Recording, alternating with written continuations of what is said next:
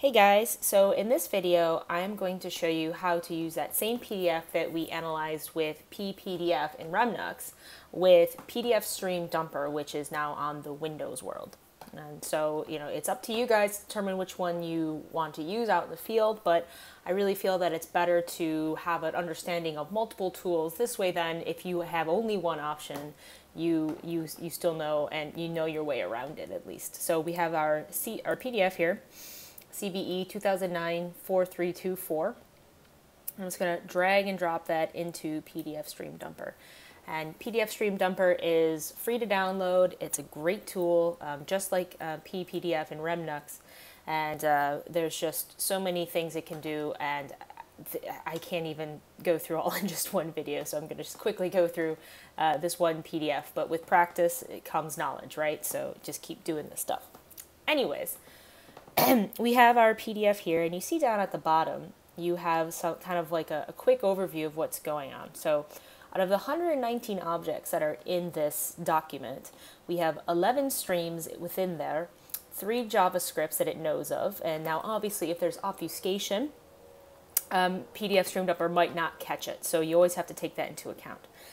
There's zero pages, one font, zero three U3Ds, zero flash, three unknown filters, and one action item.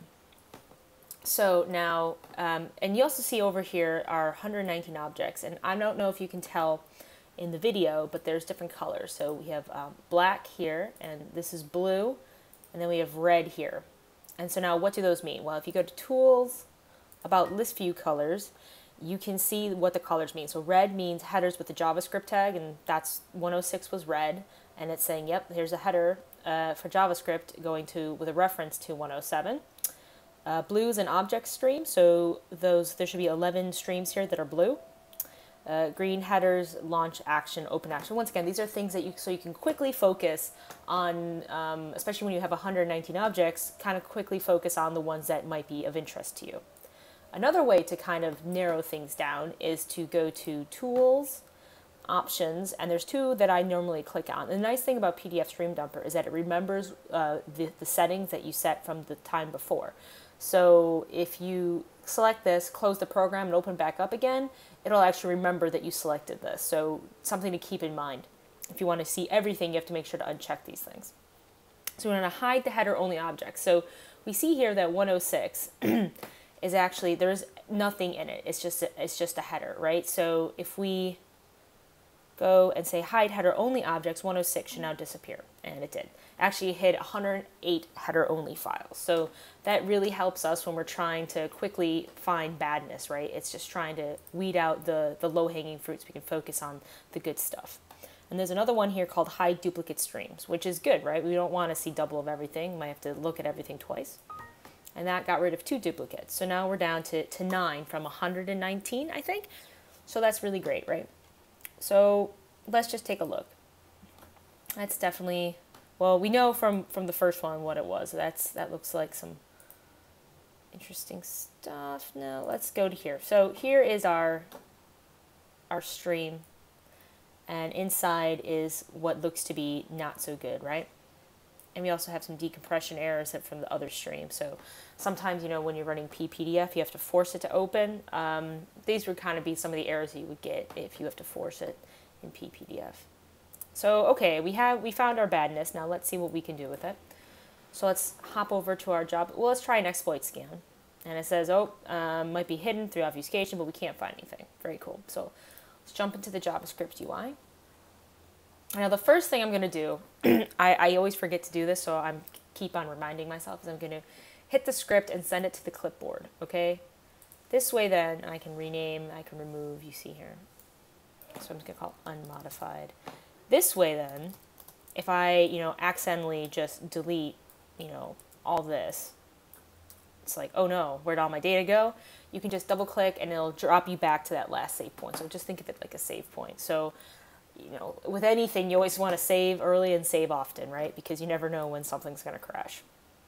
But unfortunately, if the program crashes, you are going to lose this. But anyways, so we have some information here, and now, you know, with peepdf, we, we did some things in order to try and see uh, the shell code. Now with PDF Stream Dumper, it I feel like it's it, it's very very easy. We're going to use um, an something that's inherent into PDF Stream Dumper called uh, Toolbox or yeah Toolbox, which is and TB for short. So we see here we have a, this eval s2. So basically, it's saying for i equals zero. So this is just a loop here, right? Where the length of whatever this is. So for this entire thing, you're going to take from the car code and you are going to run it by a key. Well, k when the key happens to be up here. And the attackers or someone decide to nicely put the comments in of what to do. So that's pretty nice. So we could do all this by hand if we really wanted to, but you know, the whole point of JavaScript and things is to make life easier, right? So why not let the script run, but just, you know, say, well, what does this actually come out to? So we have this eval s2, that's what this does, right? Well, what we can do, we can do toolbar, toolbox, dot, and this basically, it's like, you know, how in Excel you can do this. You do the dot or whatever, and it'll show you what options you have. So we already have an eval, it's probably what we can do. We can also use T, which will just put the output to here as well. You can also do unescape. There's a bunch of different options here, and I highly recommend going to the website to, to look and see the different things you can do with these options. But we're just going to do tb.eval, and we're going to hit run.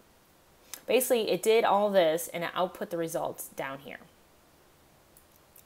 So now what we're going to do is I'm going to, again, save that to the clipboard, and I'm going to rename that as unobfuscated.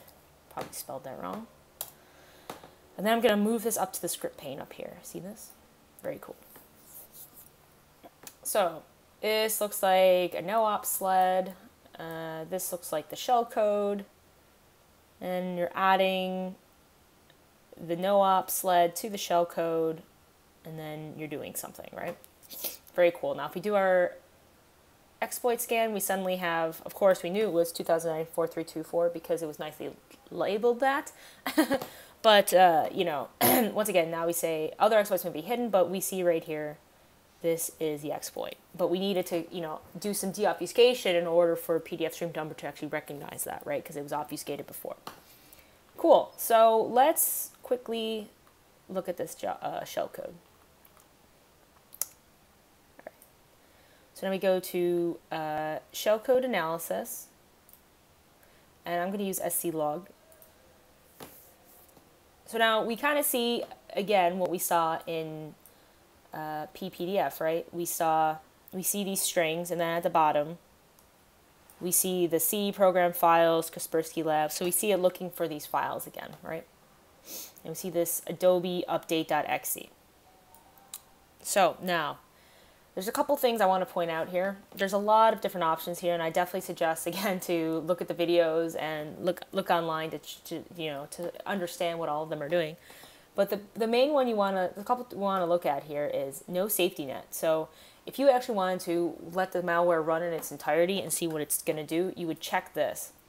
Um, if you keep it unchecked, what it'll do is it will not allow any new um, files to be executed. So if it does create an exe or creates a DLL and tries to run it, it actually will block it from being run. So for safety's sake, we're going to keep that on because that's just kind of nice. We just want to see what will happen. But if it does create a new file, it will actually create it. You can actually navigate to it as you'll see later. You, we can actually navigate to it and then do analysis on the file afterwards. Um, but you know, it's just an option of what you can do. Allow any DLL to load. Again, it's trying to say hey, if you just wanted to, if it creates a DLL, it will allow it to load, or you're gonna, you know, only allow certain operating system ones to load. Um, pretty interesting stuff. You can also take a memory dump, depending on what you're doing. Uh, there's another one I always check is to open file because sometimes when the shellcode, it's actually looking for additional malicious files that are embedded in the PDF, and it needs to have the file open, right, so that it can go get the memory address, location, and then extract it from there. So I always generally have that open. Else you'll hit launch, it'll be trying to get the file size, get the file size, and it's just gonna hang there pretty much. Another one is which is good is log file. This way it just saves basically the output that you're gonna see on the screen into a log so then you have it for later. So okay, now let's see if this works. Hit launch. Yes. So we see here, it's, it's opening up the PDF and it's loading the shellcode into memory and it's executing the buffer. And so here, the first thing we see, it's doing the first API call, find the first file. So it's saying, hey, do I see this file? And then if it does find it, maybe it'll stop. Now, once again, now 2009 was pretty is pretty old in this day and age, right? gosh, I'm so old. But back when this P, this exploit came out, this was the latest stuff, right? This this exploit came out in 2009. So this was looking for the latest and greatest back when it came out. All right, so it didn't find it, so it started to run. So it's trying to see, you see here, it's getting the file size, and it's saying, okay, I found it. Let's go get the temp path, which is a temp. Now it's creating a file, uh, temp Adobe Update.exe, which we kind of saw here, right? Adobe Update.exe and then it's writing to the file, fair enough. And now, but then you see it's trying to execute it. So, but since we had this no safety net checked off, uh, we we were not allowing it to execute. But if we had it checked, it would execute Adobe Update, and we'd see more information. So let's quickly go to that. Lo- oops. Let's quickly go to that location. See his settings. I'm sorry if you guys can hear the helicopter. The Olympics are going on, and since I live really close to London Bridge, uh, it is just madness. So here we see Adobe Update.exe, right? So there's our file. So now we could do additional analysis, static or dynamic, with this file, right? Or we could even do just a simple uh, strings. Take a look. There's our MD5 hash. You know, put that up in VirusTotal. I'm sure it's been seen before. And so now, now the log, where did it save the log to? Saved it to the desktop. So let's quickly just check at the desktop here. There it is. So again, so this is basically just what this was, but just in an easier format that you can, you know, put into your reports and things like that. So that's uh, PDF Stream Dumper. It's a great tool. I highly suggest you play around with it. Uh, the toolbox itself is very, very useful when you have more complicated JavaScript. and You have to do multiple things, multiple um, uh, substitutions in order to, to get to the final answer. Uh, maybe in another video I'll, I'll, show an example of that. But uh, this was the same PDF that we looked at at peepdf, now in just the Windows P PDF Stream Dumper.